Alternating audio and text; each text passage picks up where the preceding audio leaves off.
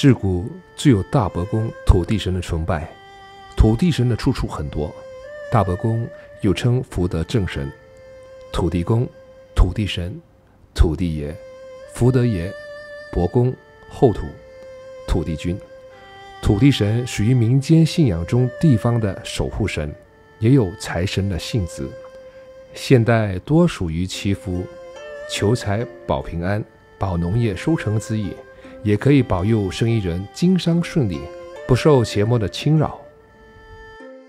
由于佛菩萨以及护法神们的慈悲，经常怜悯众生的痛苦，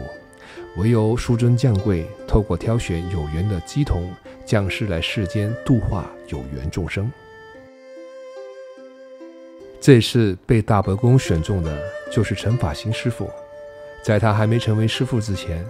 其实他是经营一家照相馆的老板。嗰陣時係三十二歲，中咗 cancer，真係講我三個月命，入院咗住咗兩個月，住兩個月咧，醫生就講仲有三三日命咯，三日三日命咗，後尾第二日白官嚟度揾我咯，叫我出院，出院叫我啊幫佢，去幫佢做嘢咯，係會救我咯，咁我應承嘅咯，咁我第二日我就出院咯，翻去佢度翻埋六個月咁啊，有六個月咯。这一趟就过了半年，在这个过程让他全家完全陷入了一个困境。某一天，突然苏醒的陈法新师傅，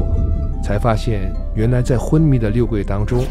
大伯公在梦中教他如何看牌占卜，目的就是要他造福人群。随后也按照大伯公的指示，首先在夜市中摆小摊位，为人家免费占卜看命。睇到一兩個月咗，就叫我翻演唱部咯。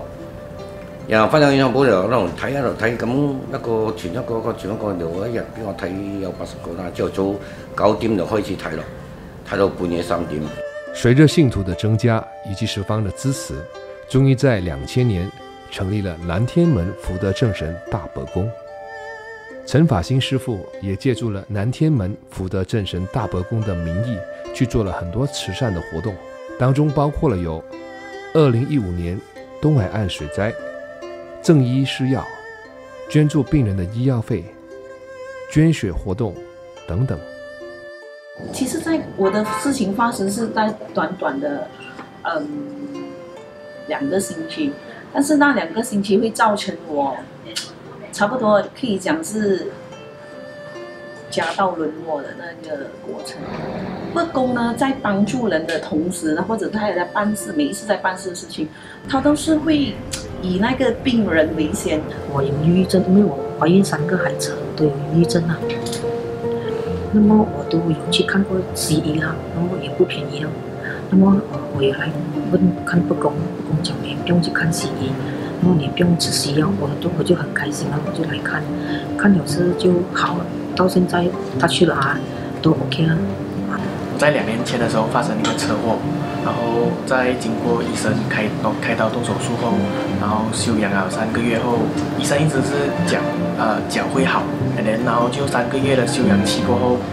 我发现到我走路还是一样一拐一拐，就是要拉着脚这样子。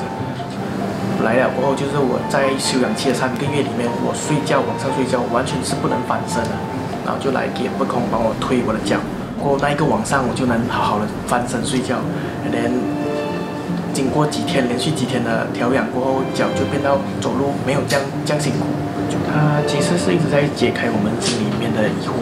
跟我们如果对什么东西有猜测啊，还是我们做不了决定的时候，他会指点我们。然后其实很很大成分上还是在教育我们这样子。这个庙是很小的，它的空间也是很小，就是说人越来越多看到。就一路咧願望咧，我就講希望起一個白公廟，因為地方又唔夠，又細啦，因為多人做嘛，同埋可以接濟老人孤兒咯，誒幫盡量去幫人哋咯，贈醫施藥俾人哋咯咁咯。一個又唔簡單咯，最緊要咧就大家大家一齊有錢出錢咯，有力出力咯，做願望呢個福田咯，功德無量咯。有些事情，不管你相不相信，这间大伯公庙和师傅多年的付出与奉献，大家是有目共睹的。所以说，有舍才有得，也希望各界善心人士多多支持，大家一起种福田，